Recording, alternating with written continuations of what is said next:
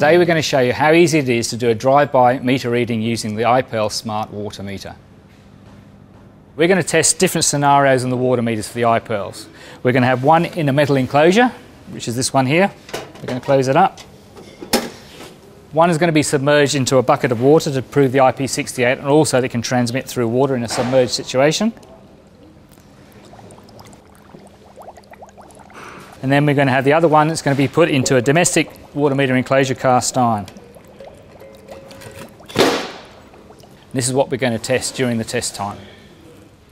To add to the three meters we have downstairs, we've also got other meters in and around the office. So we have one inside the cupboard. We have two others in offices behind the concrete walls to prove that the actual meters can be read through concrete.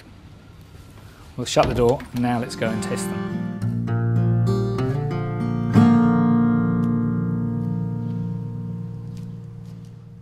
All that's required to do a drive-by reading with the iPERL is a mag-mount aerial, the Sensus SIRT, and a tablet.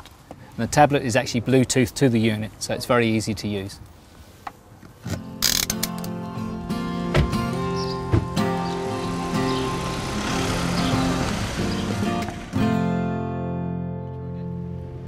Okay, so we have eight meters recorded on the system. They're listed with their locations and their descriptions. As soon as I hit the read all button, the system will start to look for them. So we'll start the drive-by after I've hit read all. And then Damien will take the car up to 50 kilometres per hour.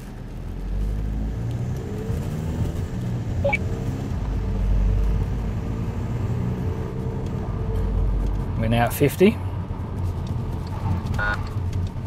We've acquired the first one.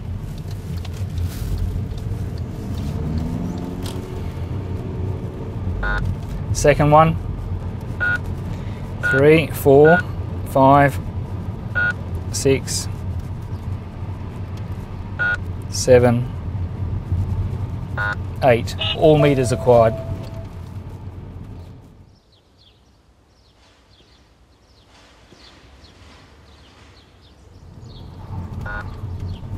We've acquired the first one.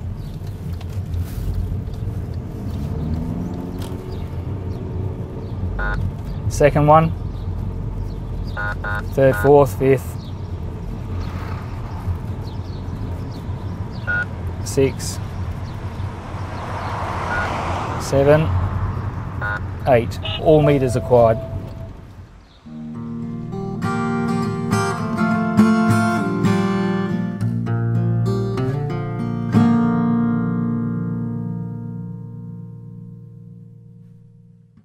Okay, we've come out, we've, we've got all our meters from our routes, we've got them on the, on the tablet, we put the tablet into the docking station, we dock it, and we hit the export button, which takes it into, and we choose the software version we're going to go into into your billing software.